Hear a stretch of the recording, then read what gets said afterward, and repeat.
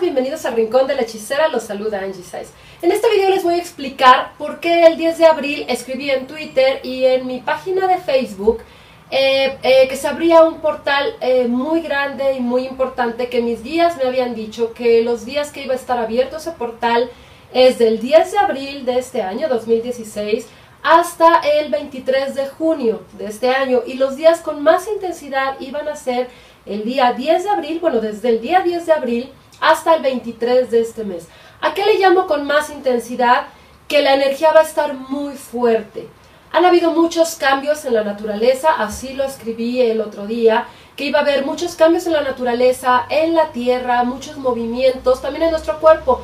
¿Qué en nuestro cuerpo? En nuestro cuerpo, como la vibración es demasiado alta y es una energía muy, muy fuerte, ¿qué puede pasar con nosotros? Que tengamos insomnio, que nos duele un poco la cabeza, zumbido de oídos, mareos, eh, como náuseas, pero no, no lo relacionen a veces con que a lo mejor comieron algo o hicieron un coraje, no, esto tiene que ver con un nivel de vibración energética, para que aprendan a definirlo, porque mucha gente me empezó a escribir y me decía, ah, entonces por eso estoy enojada y ando irritable, o sea, no, puede, puede ser que sea por eso que está en la naturaleza, o puede ser porque tú traes cosas que tienes que sanar tienes que arreglar, los movimientos en la naturaleza, como han visto, pues han sido demasiados. Han habido tornados, han habido inundaciones, han habido terremotos, han habido, gran, bueno, ha habido granizo, ha habido muchas, muchas cosas eh, como muy fuertes energéticamente. ¿Qué son los portales? Porque también muchos me escribieron que qué eran los portales. Los portales son como, como entradas y salidas hacia una dimensión. Imagínense que van de su casa de aquí al comedor, están en la cocina y van al comedor, van a una recámara y que lo hacen con mucha facilidad. Así es en los portales. Siempre hay portales energéticos en el universo, en todo momento. Pero hay veces que son como más evidentes determinadas fechas o en determinados lugares, porque se ven ciertas cosas. Muchas veces cuando pasan estos acontecimientos en la naturaleza, como ahora que hizo erupción el Popo, de repente que está en esa fase el volcán de Colima, el de Guatemala, se dan muchos avistamientos ovnis y mucha gente los anda viendo y ven cosas diferentes en el cielo que a lo mejor no todos están acostumbrados a ver o no todos tienen la capacidad de ver.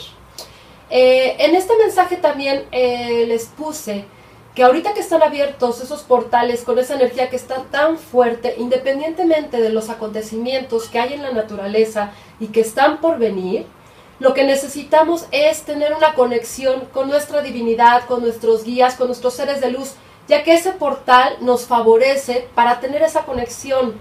Eh, muchas personas ocupan eh, esa energía de esos portales para bajar la vibración de las personas y entonces crear miedo, crear estrés, crear angustia y entonces los seres del bajo astral pues es realmente de lo que se alimenta. Entonces nosotros ahorita que estamos en ese portal con esa energía que está abierta y tenemos esa conexión, hay que pensar, hay que pedir, hay que activar nuestra vibración, pero hacia arriba y hacia la luz.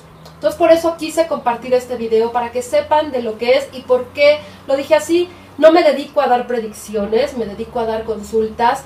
En un video que había hecho que se llama Contactados por seres de otra dimensión, ahí les compartí que he recibido muchos mensajes últimamente y que poco a poco los iría compartiendo con ustedes. Este fue el primer mensaje que compartí con ustedes. Gracias por su confianza. No olviden seguirme en, mi página del Rincón de la Hechicera. Y eh, mándenme mensaje aquí en este canal de YouTube. Pongan abajo sus comentarios. Si han tenido algún tipo de experiencia, me va a dar mucho gusto leerla. Y que tengan un gran día. Mil besos.